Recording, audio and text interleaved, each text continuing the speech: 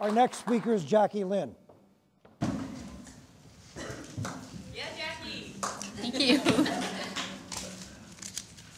Can everybody hear me? Yes. Okay, good.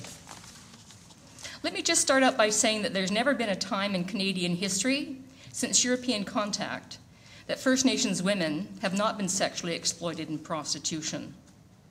And what I propose to you today is that present day prostitution of First Nations women is a particularly sexual and violent legacy of colonization.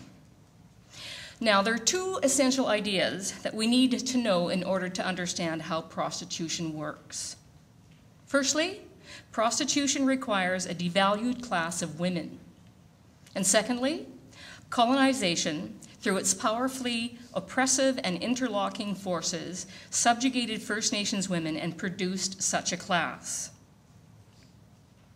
First Nations women prostituted, First Nations prostituted women form part of a highly organized sex economy that exploits millions of Indigenous women globally.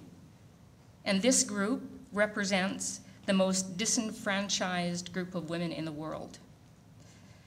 So women have described to me what men do to them as bought and sold acts of rape.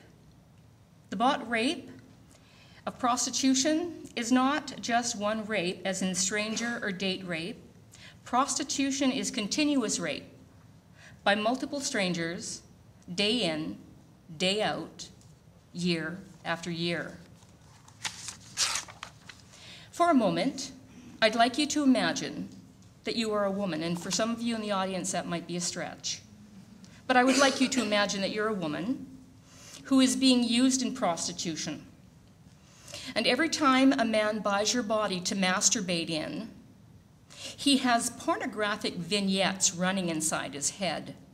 And he reenacts these vignettes on your bought body.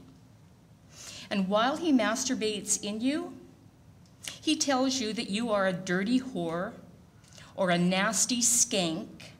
Believe me, verbal assault is a taken for granted part of the prostitution exchange.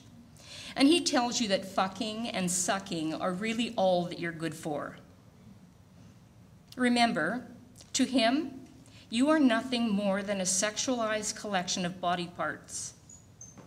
What this means is that you have to spread your legs you have to open your arms, you have to open your mouth, and you have to seemingly invite and embrace this continuous onslaught of assaults. This is the so called work of prostitution. It demeans, it humiliates, and it devastates women who are used in this way. I want you to know that no matter where prostitution takes place, whether it's on our streets, whether it's in decriminalized prostitution zones, the internet, strip clubs, brothels, I don't care if a woman's prostituted from reserve to city or across international borders, the woman is still being bought and the woman is still being sold.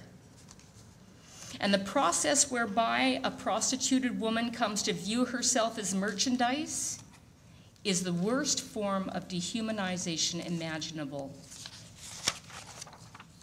But there is hope. In countries such as Sweden, Norway, and now Iceland, prostitution is officially acknowledged as a form of male violence against women and children. I'm going to say that again, if you don't mind. I'm going to say it again. In Sweden, Norway, and Iceland, and other countries are now considering this. Prostitution is officially acknowledged as a form of male violence against women and children. And one cornerstone, one cornerstone of these Nordic policies is its focus on prostitution's root cause the recognition that without men's demand for and use of women and girls for sexual exploitation, the global prostitution industry would dry up. Shucks, huh?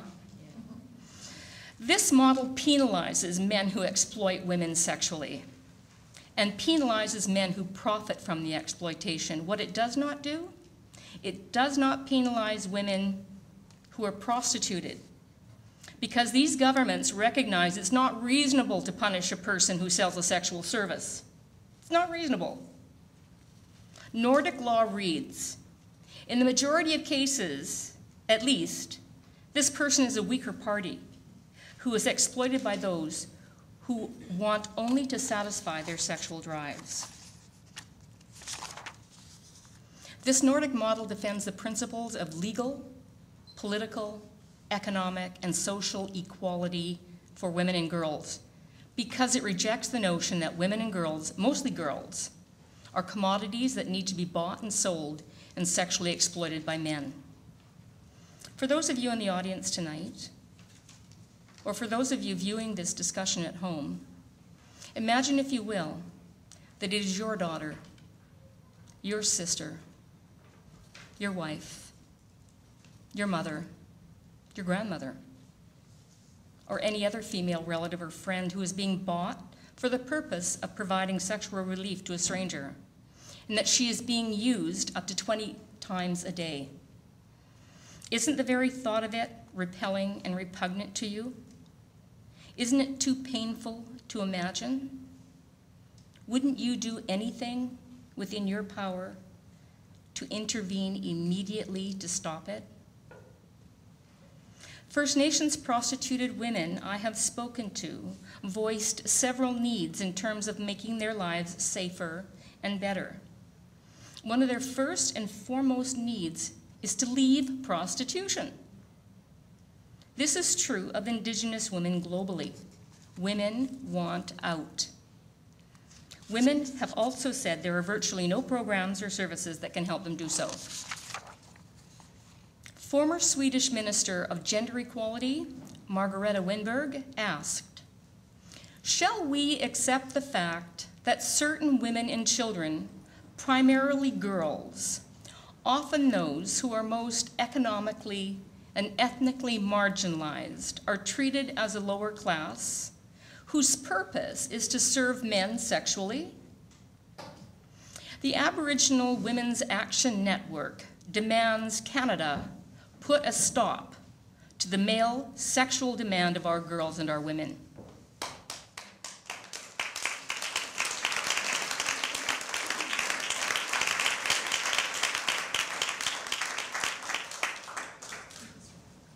Give us what we want.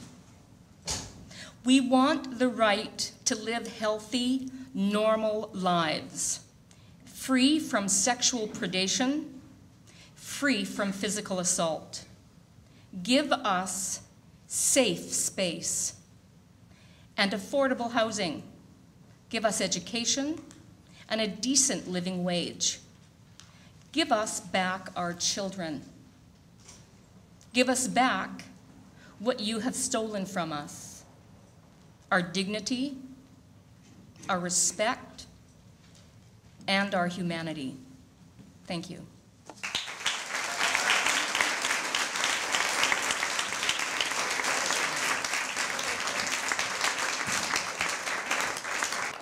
Our next speaker, our next speaker from UBC Law is Annabel Webb.